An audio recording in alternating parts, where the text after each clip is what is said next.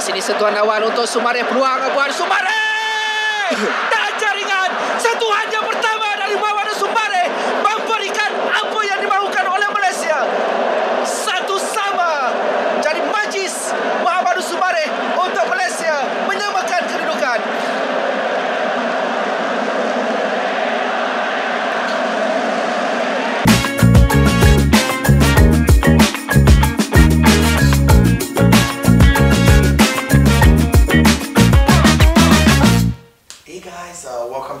welcome to Showreel with SunkyOG, and I have the, I mean, one of the biggest, uh, you know,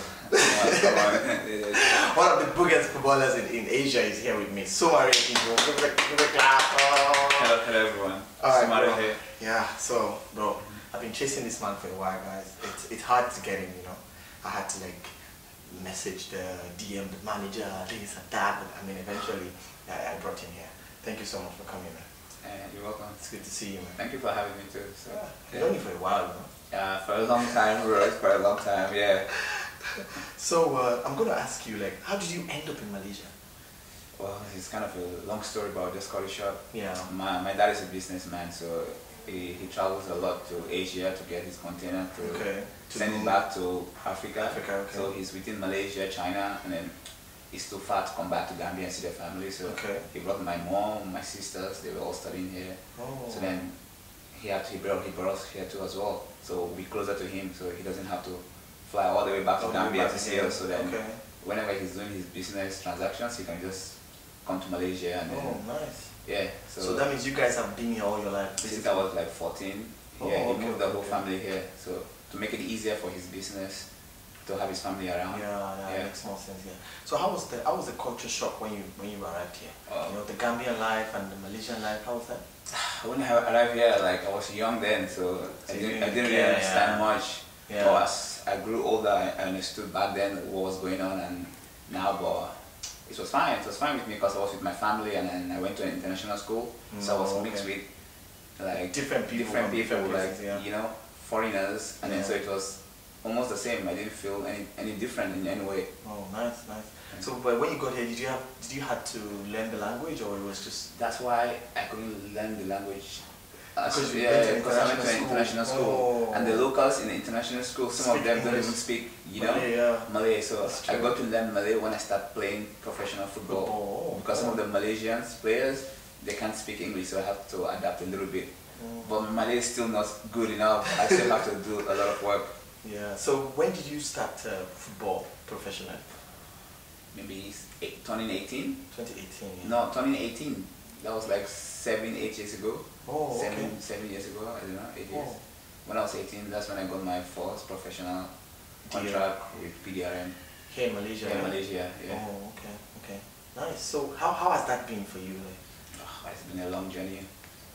It's been a long journey when I started to play professionally as a young player, Mhm. and then getting up step by step. Yeah, not easy. growing, yeah, yeah. growing is like a little bit, a little setback, disappointments. You get you Just get back up, yeah. and then fight again, and then you know have you have bad moments when things are not going well, Mm. when you're not playing your best. So well, thank God, mentally I was very strong. I overcame all that, and I'm in a better place right now. How, how has the support been you know, for you being African in, in, in Asia, playing professional football? How has that been for you? Um, But honestly, for me, it's been good because good, the. Malaysians really support me. They really Yeah, showed me a lot of love Yeah. since I played in PDRM, moved to Perlis, come to Pahang, then ended up in national team, then ended up in Johor. Hmm. It has been nothing but love, and then I think they're the one that got me where I am today because exposure-wise, they really They really helped. helped me a lot. So like you you playing for national the national team, that must have been a lot, bro. How, how did you take that in? um, that was like playing for the national team. It was like it's something I never thought I would end up like playing professionally here. I was like, okay, I, I, I've kind of made it. kind When you got the offer, when they told you that okay, Sumareh now, we want you to play for Malaysia.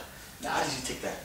It didn't Oh, come like I that. thought it was a joke, you know, because uh, it was the end of the season. Yeah. Then end of season footballers would like to travel, you know, Move around, yeah, So and stuff. I already almost booked my flight, so I was having dinner with teammate, teammates and some friends. Yeah. And I got a call from the coach, and it was like, okay, how are you and all this. and uh, would like to invite you for national team camp. I thought it was a joke. I thought it was one of my friends trying to prank me. I was like, oh, come on, stop that. Don't do that I to think I me. kind of hang up or I kind of, you know, and I got a call again.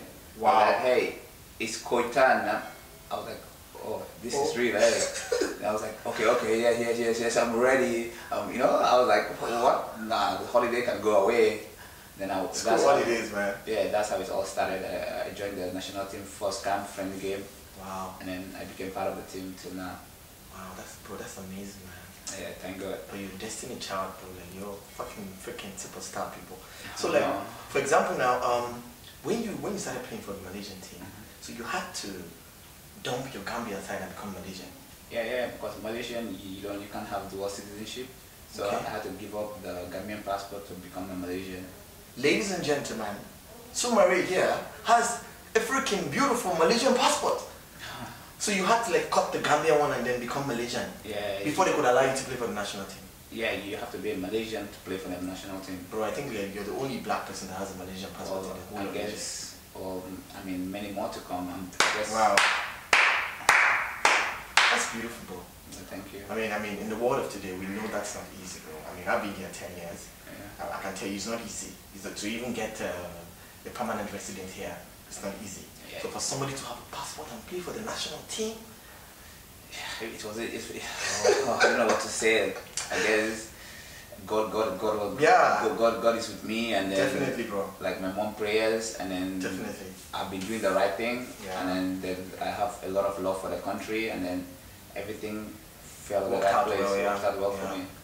So your, your parents are here, right? Definitely. Yeah, yeah. How did your mom take that when it happened? My mom couldn't believe it until she saw it. Then she believed it. She thought it's all talk, talk. Oh, you know? joke, yeah. Until she saw it, and then she, She believed? Yeah, then she believed. Wow, bro. So, uh, how do you how do you feel about being Malaysian, traveling around the world with the Malaysian passport? How, how does that make you feel? Like when you get to the airport and they look at you, do you get all those looks, the ones they normally give us? Mm, Do you get this mostly, it's different because Malaysia is a football. They're football fans. They love Okay. football. So they understand. mo- mostly, uh, the ones the, the, the, the guys in the immigration that Yeah. know football, they see me, they So already know. already, yeah. So, but the ladies that don't really know about football, uh, they're shocked. They'll be looking at me like, what's going on like, like when I was traveling to Indonesia Yeah. for holidays with a Malaysian passport, they wouldn't have to ask for my IC to double confirm. confirm, like, They've never what's seen a- going on here? They've never Yeah. seen a black guy traveling to Indonesia with a Malaysian passport. So And then outside outside the country, when they see that you have a Malaysian passport, what, what's the response they give you? The border language, the immigration outside the Malaysian. That's why it was Indonesia. Like They look at you like, it- is not real. Yeah, yeah. So I had to bring out my IC to show them that yes, It's I- real, bro. It's real, yeah. Because Wow. they don't see this often, so I understand as well. Mm, that's good, bro. So, bro, if you could play another sport, what what sport would you want? Uh, I'm a big fan of basketball, so Oh. I played a little bit of basketball in high school. So Mm, that's good. So, are you are you are you married? Oh, and I'm not married, but about to soon. I have a girlfriend for two years. I, had- I had some gist somewhere. There's somebody that you remember, like, bro. I know this guy. He's not married. Like the Oh. person was oh. arguing with me, you know. Oh, I'm like, he's no, not no, married. It's a lie. I'm not married. I'm I'm not married. I've never been married. I have a girlfriend for two years. That's good, bro. So So, if everything works out, we'll get married. now you guys heard he's not married, but he's getting married. soon. Yeah. So what what's that thing you do before you play any match? Like That my, only you know. like my ritual and Something like that, yeah. well, mostly uh, a night before the game, the opponent I play against, I like to go on YouTube and then Watch. watch, and then after that watch myself things I do to watch myself. If I can do this in these other games, I could do it to remind myself that. You can I, do it. that I can do it, And and that's good. the last of last but not least is oh, my mom prayers. I have to Yeah. talk to her for a little bit, She has to pray. and then once I start, once kick off, she's on the prayer mat praying for me. Wow. Every game she does that. I That's tell amazing, you, no bro. jokes, yes.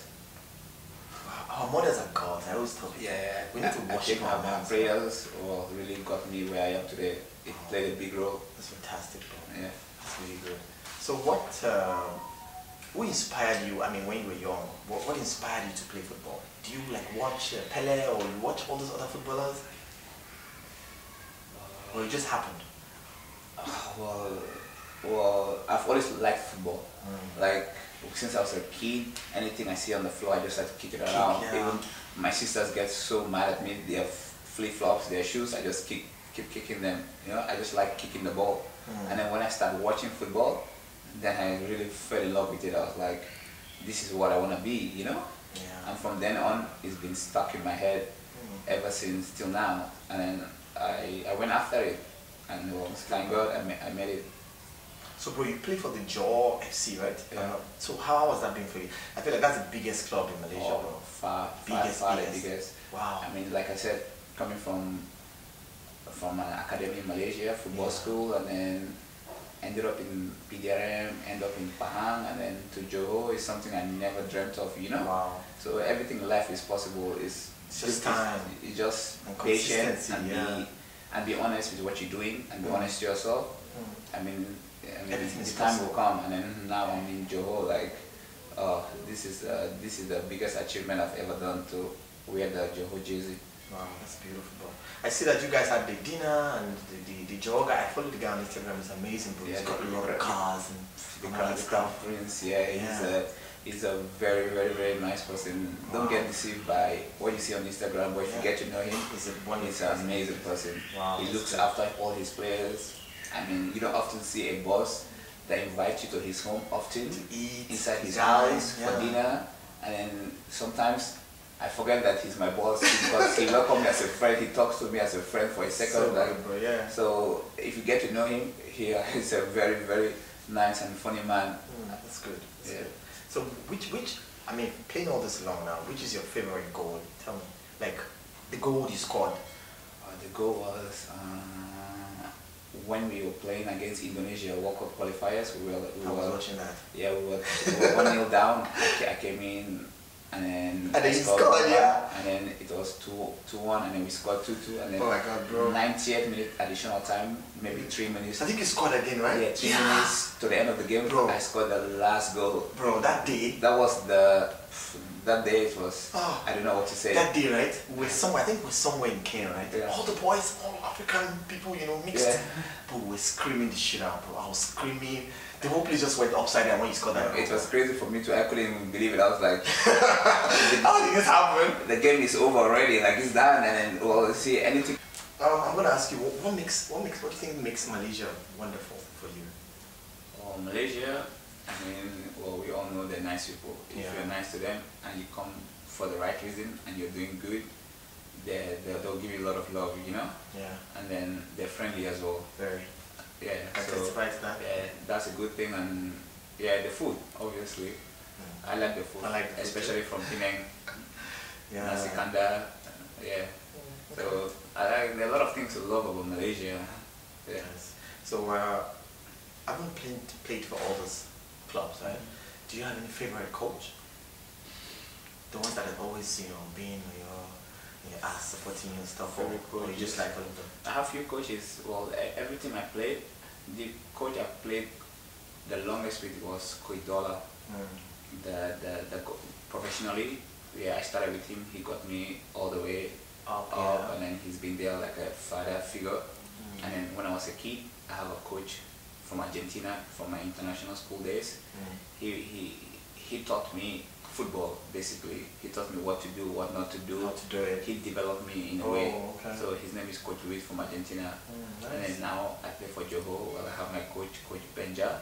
So he, he, he took it from there. He, I'm learning a lot from him as well. So It's good. so like, so overall, all the coaches I've worked with, they're all my favorite. They're all good coaches. Mm. So, uh, are you looking at playing for clubs? Oh, sorry, I'm Coach Tan, national team coach. Action.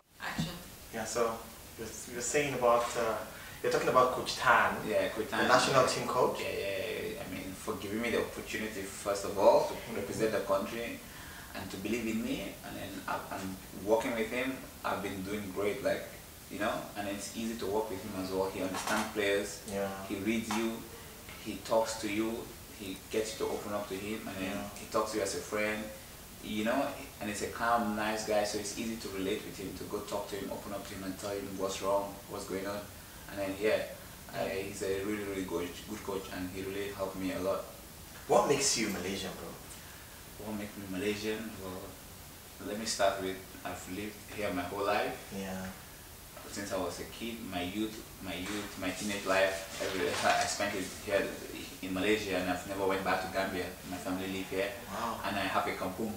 My kampung is Wanjaya. So Balik kampung. Balik kampung. now I'm, I'm in my I'm about to go to my kampung for Raya. So basically, I'm, uh, uh, there's a lot of things that make me Malaysia. I, I love their food. Yeah. I love their culture, and then I celebrate their rayas and their the victory because I'm Muslim too. Yeah, so we have a lot of a lot in common. Yeah. And then all my friends here are now in Malaysia because here's where I grew up my whole life. So there's a lot of things that makes me a Malaysian. So, bro, when you when you're under pressure, I mean, during the match, how do you how do you how do you maintain that? How do you keep your balance? Or if I'm under pressure, I don't like to put it in my head too much because that's, that's gonna get me nervous when playing. Yeah. Then I won't be able to do what I know I can do. So I just go out there and enjoy the game. So the more you enjoy the game, the more the pressure is less because you're out there doing what you love most and enjoying the game. So everything just fall in place. Nice.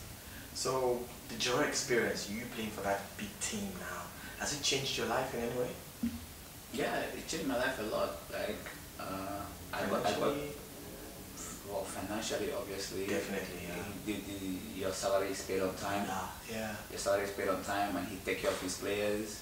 And then professionally as well, things I wasn't doing before, like taking care of myself.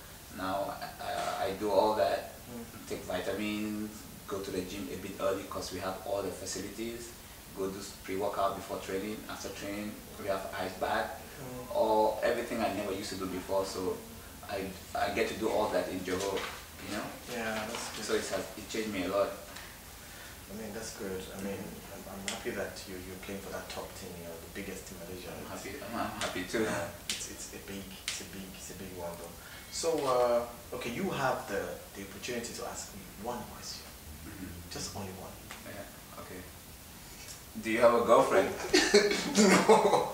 If you do, you should say her name out there. I don't have a girlfriend. You I'm sure? single as hell. Yes. No girlfriend. No girlfriend.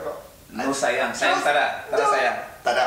No, I don't have. Uh, Tipu, I tipu, said- tipu. It's like I don't believe. No, no. If I do have, you know, bro. Uh-huh. You know, you know my, you know my And ex, why right? are you single? Why are you still single? Bro, I'm searching, bro. Obviously, you're a good-looking guy. I'm searching, bro. Still searching. Yes, I'm searching and I'm praying. I think we are looking for the right partner. You just have to pray. So, I just be patient. Yeah. I've been searching for a while now. I'm patient. I found the right one. So. you're lucky, bro. You're lucky. Oh. Yeah. So hopefully, for we that are still searching, we probably find the right one. You will. You will. Uh, anyways, guys, uh, I think we've come to the end of the show. Thank you guys for staying with us on uh, this edition. So we'll catch you guys on the next edition of Show You with SunkyOG. Hello guys, keep watching Show You with SunkyOG. Thank you.